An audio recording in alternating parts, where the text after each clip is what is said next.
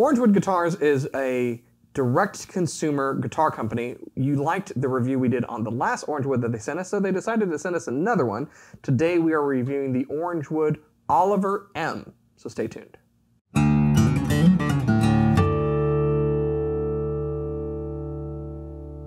Hey, you're watching Alamo Music. My name is Chris McKee. And I'm Cooper Greenberg. We're here with Alamo Music Center in San Antonio, Texas. You can find us online at alamomusic.com.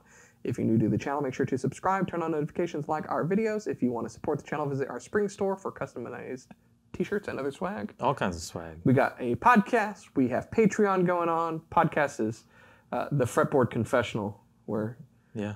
Cooper just like bleeding heart lets everybody know what's going We on in his life. So like in a confession kind of thing. there's robes. It's fun. Yeah.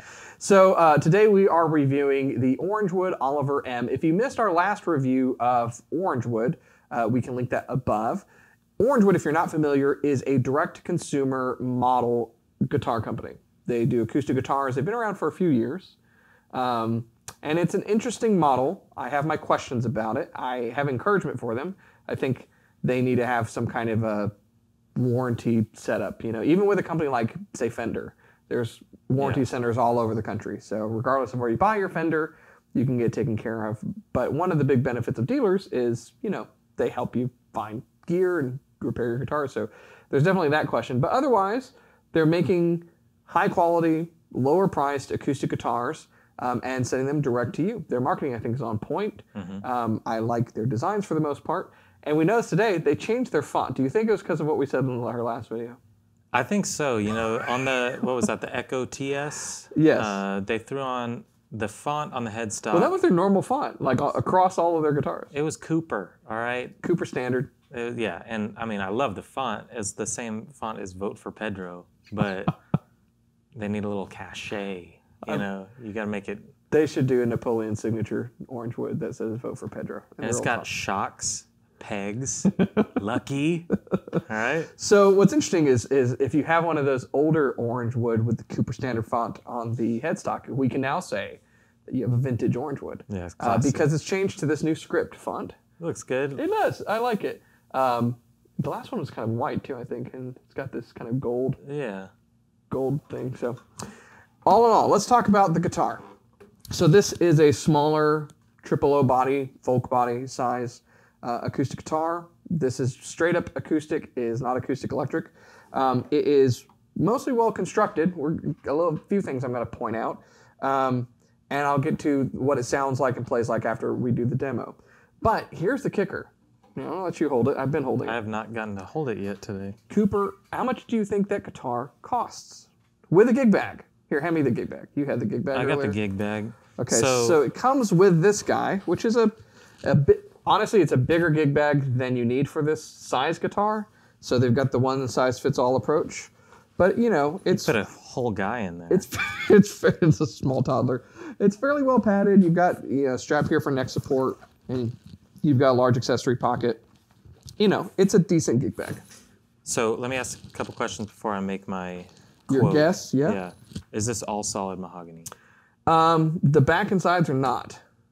Is it Top is. solid top mahogany and is this laminate or is this a different It's laminate. Okay. Yeah. Cuz I mean smells good. That's a good sign for me. I like to smell all the guitars. I'm gonna double check the top. I'm going on their website, orangewood.com. I was on there a second ago. We're doing in-store research. In-store research because I looked at it a second ago and I'm going like it is. That is what it said, right? Yeah, solid mahogany, layered mahogany. Layered back and mahogany sides. back and sides. Nice satin finish. I like it. I think it feels good. Checking texts over here now.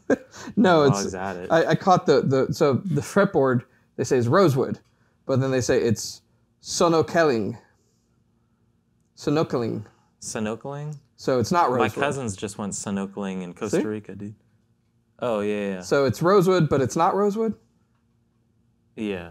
I guess. Something like that. So you know, at least they're telling you. Um, solid mahogany top, layered mahogany back and sides, snorkeling fretboard, Snorkeling and fretboard, um, I mean it's it looks good. I Yeah. dig it. I think that the guitar is four ninety nine. Hundred ninety dollars.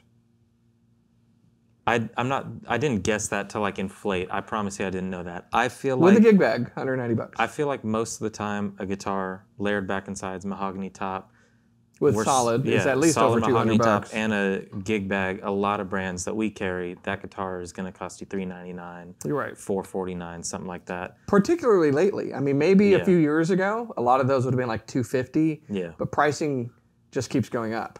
yeah, that's pretty wild. I honestly was under the impression that we were getting like a, you know higher end orange wood because I really I did not know what I was coming into. I saw the name Oliver M. We have a new Oliver M We do in the have a new Alamo Oliver, family. yeah. Patrick had his first child. He's smaller Oliver. than this. Yeah, he can fit in a gig bag. He could.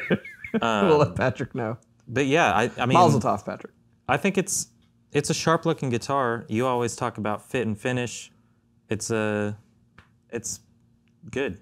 It's good looking. It's okay. Let's talk about fit and finish because Orangewood is bringing in this guitar at $190, which tells me that their margins are thin, and I wonder if they're making money at all. They can do that because it is direct to consumer. They don't have a dealer base. There is no markup, conceivably, right? So they're trying to maximize what they can do, keep the pricing low. But I, I, I have to th- think that at 190 bucks with a gig bag, there's not a lot of profit in this for them. Um, overall, I think the guitar is well made. You're just looking inside. Clean glue joints. You don't see a bunch of blobs of glue like you would sometimes see in uh, a lot of big brand name guitars that were lower priced or even sometimes higher priced. Um, it's got binding on it. As far it appears to have binding and purfling, so they didn't like not do that in order to save money. Uh, the tuners are pretty bad. Um, I did mention that uh, to to Josh uh, earlier on. I was like, yeah. The, he said, "Are you gonna say that?" I'm like, yeah. The tuners the tuners are not great. These aren't the Gotoh 510s. They're not the Gotoh five. They're not eighteen to one. But I mean, they're par for the course for about a two hundred dollar price guitar. So Yeah. it's not like they're really terrible. It's not like an Amazon, you know, forty dollar guitar or anything like that. Uh, they're just they're they're not that great. Um, let's listen to it and then I'll get into the rest, shall we? So uh, here's what you can expect from the guitar. It's acoustic uh, with a solid top, so you're gonna get more resonance, but it's mahogany. So it's not as dynamically rich as a spruce top. A lot of mid-range, a lot of warmth is gonna come out of the guitar, and I play a few different pieces to give you an idea of what it sounds like. So check it out.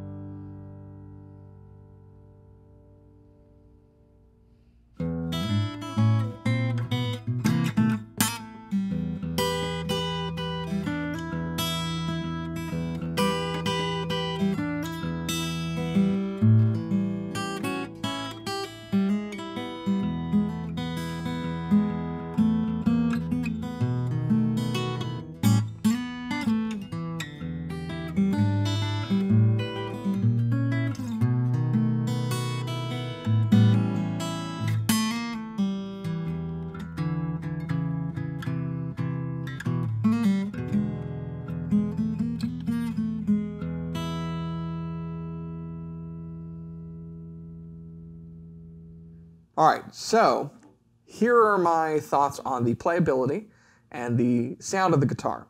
I think the guitar plays pretty well. There are not any sharp fret ends, uh, which is great. There are higher end guitars that we sometimes carry that will get sharp fret ends. And a lot of times on a guitar that's made overseas, that is a problem that can creep up. Do you know why? Because changing climate and shipping? That's exactly it. So when a guitar is made in Southeast Asia, it's an extremely humid place. Um, if the if the factory is not kept climate controlled, if the wood is not dried out uh, properly, um, then what will happen is the guitar gets made, the neck is effectively swollen.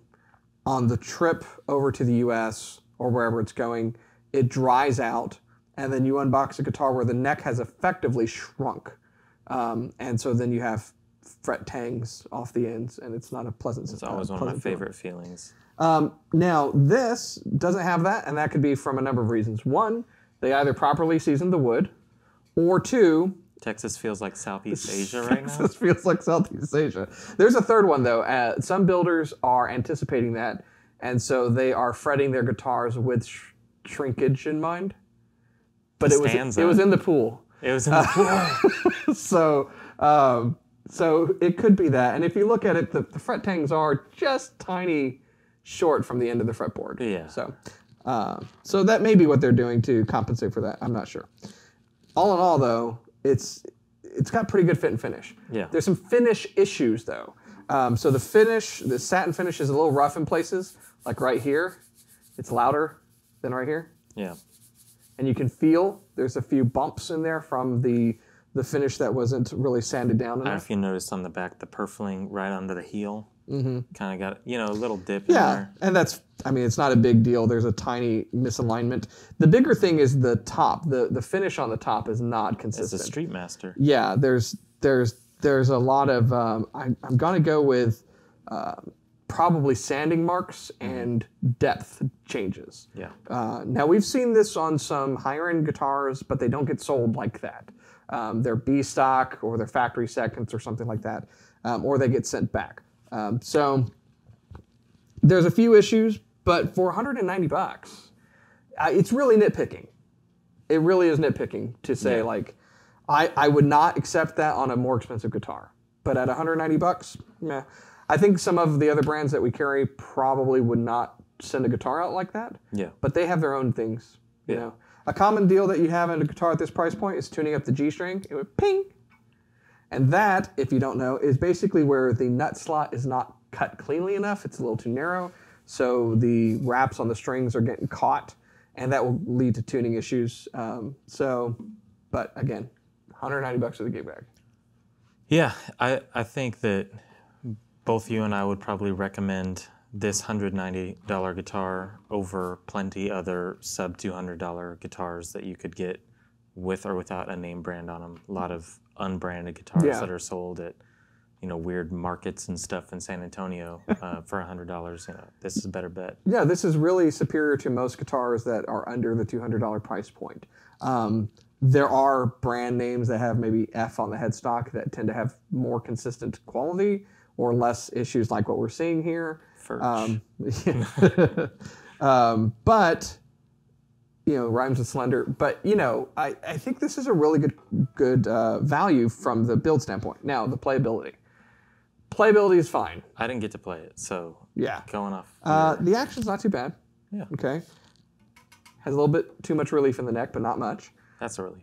Um, a, I'm sorry, I'm just full of them today. it's a relief.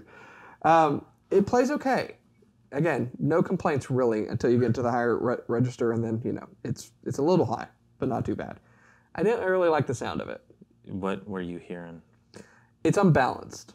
So the the lower strings are just a little thuddy. You know. Yep. Versus nice and clear highs.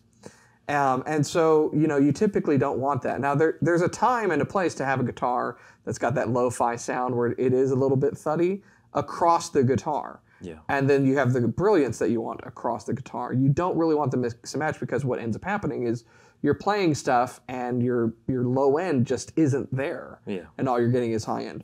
Um, so that that's my biggest complaint on this guitar is is it's just it's an in it's an unequal playing experience as far as the tone is concerned. But I think most people learning Yeah. wouldn't care or really notice all that much. Yeah, no, I, I feel that for sure. And again, for your first guitar, great price to get in at. Typically, most things from any other brand name that you've probably heard of are going to start over two hundred dollars. Yeah. So, I mean, it's it's definitely a nice value for what you're getting. There's shortcomings, but that's to be expected. And our last review that we did of Orangewood, a lot of the response was because we, we were playing kind of a more expensive version of what they make. Mm-hmm. And I didn't feel that it really measured up to other brand name guitars at that same price point. And a lot of the feedback was you need to try some of their lower price stuff because they're really hitting it out of the park there as far as dollar to value. Mm-hmm. Um, and I, I think I agree. I think mm-hmm. the Oliver M at under $200 with a gig bag is a really well made guitar for the price. Um, with some of the inconsistencies given, uh, I think most people would be happy with a sub $200 guitar. Yeah. That being said, I think there are better guitars for a little bit more money.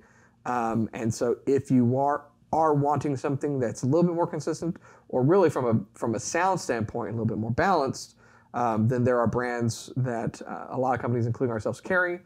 They would be more expensive by probably about seventy-five to hundred dollars, um, but they, I think, they are better guitars. So And it's cool. You don't get a ton of like typically entry solid top guitars. A lot of spruce. Way less options with mahogany, so it's cool to see something with mahogany. I think that we've done so much of all mahogany and solid top mahogany that I feel like we're in the age of like Sitka's out, and it's cool, cooler to have a mahogany top guitar right now. Um, so if that's also something, if you're you love and your dream guitar is the 0015M or you know the new 8022E or something like that, this is a cool light version, and then you can work your way up if that's the sound that you like, which is pretty cool. Not a ton of solid top mahogany top guitars. this is like at the this price extremely light version. It's super light. It's like you can go to a bakery and get like the best cookie, Yeah. or you can go to the aisle and you can get something from Chips Ahoy, or you can go get like a single one out of like a box of Cookie Crisp. I mean, Cookie Crisp is it's not bad, dude. Yeah, but you're that's all about quantity over quality. We're trying to say the nice stuff about this guitar. Uh, no, it, if you love good, Cookie Crisp, you'll love this treat, guitar, dude. No, I, I do. I think this is a good guitar for Yeah, the yeah. price. Period. Yeah. I think that's that is where it's at. Um, and Orangewood fans, uh, hopefully that's good enough for you. Uh, and Orangewood, I you know, appreciate you guys sending this to us, and we will. Con- we, I'd love to continue to uh, to review more of their guitars. Yep. I like what they're doing from a marketing standpoint. I like that they're bringing some high quality guitars to the masses because one thing is for sure, and that is that competition improves things Yeah. You know? And so if there's a few brands that have cornered the market at like the $200 price point having competition with good guitars will make them push to make their guitars better you know? And everyone gets better guitars. So that's a plus. Good for me. if you want more information about this you don't go to our website because we don't sell orangewood and neither does any other dealer. You have to go to orangewoodguitars.com um, and then you can check out their oliver line and the other lines like the echo that we've reviewed before and others that they make. So without their standard cooper font and it's now the script font We've moved on from that. moved on. I wonder how much a vintage Orangewood is going to go for. 195, dude. At a guitar show in a few years, Yeah, it's we'll gonna be it. going for like you know thousand dollars. So, anyways, if you're new to our channel, make sure that you subscribe, turn on notifications, like our videos, keep coming back for more. At the end of the day, I think the best guitar in the world is the one that you're playing, regardless of what you paid for it. So keep playing, keep coming back, and we'll see you next time.